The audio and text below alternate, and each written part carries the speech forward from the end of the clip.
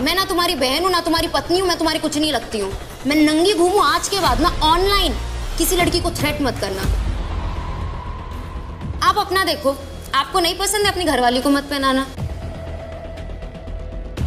एक बार कान पकड़ के माफ़ी मांग लो अभी इनके सामने। नहीं मैंने तो दिल थाम के मैंने माफ़ी मांग लिया है और कान पक, अब अब कान थाम लो।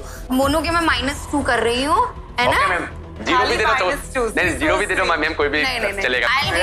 और तुमने माफ़ी मांग ली अपनी गलती एक्सेप्ट कर ली वो सबसे बड़ी बात होती है। Thank you thank you